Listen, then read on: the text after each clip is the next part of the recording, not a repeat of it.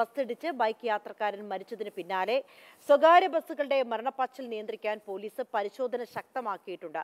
അപകടത്തിനിടയാക്കിയ സ്വകാര്യ ബസ് ഡ്രൈവറെ ഇന്ന് കോടതിയിൽ ഹാജരാക്കും. ബസ് ഡ്രൈവർ ദീപകുമാർ ഇന്നലെ രാത്രിയാണ് പിടിയിലായത്. പ്രദീപ് ജോസഫ് വിവരങ്ങളുമായി ചേരുന്നു. Pradeep good morning. പ്രദീപ് റോഡിൽ തന്നെയാണ് നിൽക്കുന്നത്. ഇപ്പോൾ ഈ ഒരു തിരക്കാവുന്ന സമയമായിട്ടേ ഉള്ളൂ. ആ സമയത്ത് എന്താണ് കൊച്ചിയിലെ റോഡിലെ കാഴ്ച എന്നാണ് അറിയേണ്ടത്. പോലീസ് പരിശോധന ശക്തമാക്കിയ സാഹചര്യത്തിൽ മരണപ്പാച്ചിലിന് കുറച്ചെങ്കിലും വേഗത കുറവുണ്ടോ എന്താണ് കാണാൻ കഴിയുന്നത്? പോലീസിന്റെ പരിശോധന ഇന്നത്തോടു കൂടി നിലയ്ക്കുമോ അതോ തുടരുമോ? ഇന്നലെ ഈ സംഭവത്തെ തുടർന്ന് ഹൈക്കോടതി കർശന നിർദ്ദേശം നൽകിയതിനെ തുടർന്ന് വൈകിട്ട് നാല് മണിയോടെ തന്നെ പോലീസ് നഗരത്തിലെ വിവിധ റോഡുകളിൽ പരിശോധന തുടങ്ങിയിരുന്നു. അശ്രദ്ധമായ ഡ്രൈവിംഗ് ലൈസൻസ് ഇല്ലാതെയുള്ള ഡ്രൈവിംഗ് ലഹരി ഉപയോഗം ഡ്രൈവർമാർ ലഹരി ഉപയോഗിക്കുന്നുണ്ടോ തുടങ്ങിയ കാര്യങ്ങളൊക്കെയാണ് ഇന്നലെ പരിശോധിച്ചത്. ഇന്നും വരും ദിവസങ്ങളിലും പരിശോധന തുടരുമെന്നാണ് പോലീസ് അറിയിച്ചിരിക്കുന്നത്. പക്ഷേ ഈ ഒരു ആവേശം എത്ര ദിവസത്തേക്ക് നീണ്ടു നിൽക്കും എന്നുള്ളതാണ് പ്രധാനപ്പെട്ട ചോദ്യം. പോലീസ് മാത്രമല്ല മോട്ടോർ വാഹന വകുപ്പും ഇന്ന് പരിശോധന നടത്തും എന്നാണ് സൂചന. പോലീസും മോട്ടോർ വാഹന വകുപ്പും സംയുക്തമായും ചിലയിടങ്ങളിലെങ്കിലും പരിശോധനയ്ക്ക് ഉദ്ദേശിക്കുന്നുണ്ട്.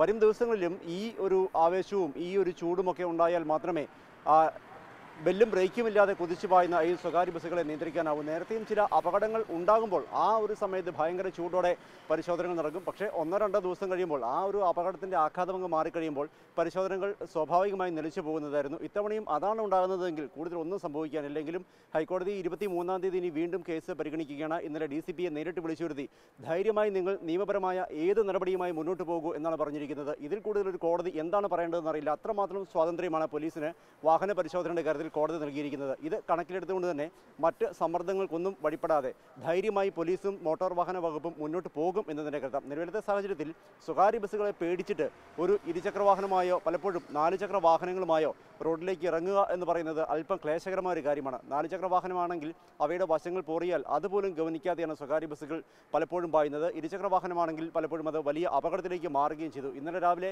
കളമശ്ശേരിയിലെ ഒരു വാഹന ഗോഡൌണിൽ പെയിന്റിംഗ് ജോലിക്ക് പോയ മാലിപ്പുറം സ്വദേശി ആന്റണിയാണ് അപകടത്തിൽ ദാരുണമായി മരിച്ചത്. ആ അപകടത്തിന്റെ സി സി ടി വി ദൃശ്യങ്ങൾ കൂടി പുറത്തു വന്നതോടെയാണ് എത്രമാത്രം അശ്രദ്ധമായാണ് ആ സ്വകാര്യ ബസ് ഓടിച്ചിരുന്നത് അല്ലെങ്കിൽ ആ ഡ്രൈവറുടെ അശ്രദ്ധ എത്രമാത്രം വലിയ അപകടത്തിനാണ് ഇടയാക്കിയത് എന്നുള്ള ദൃശ്യം പുറത്തു വന്നത്. ഇതോടുകൂടിയാണ് സ്വകാര്യ ബസ്സുകളുടെ മരണപ്പാച്ചിലിനെതിരെ കൂടുതൽ ധാർമ്മിക രോഷം ഉയർന്നു വന്നതും കോടതി ഇടപെട്ടതും എല്ലാം എന്തായിരുന്നാലും ഇന്ന് സ്വകാര്യ ബസ്സുകളും മറ്റും കൂടുതലായി നിരത്തിലേക്ക് ഇറങ്ങി തുടങ്ങുന്നതേ ഉള്ളൂ. പരിശോധനകൾ ഉണ്ടാകുമെന്ന് മുൻകൂട്ടി തന്നെ ഉറപ്പുള്ളതുകൊണ്ട് കുറച്ചെങ്കിലും മാന്യന്മാരായിട്ടായിരിക്കും ഈ ബസ്സുകൾ സർവീസ് നടത്തുക എന്ന് പ്രതീക്ഷിക്കാം.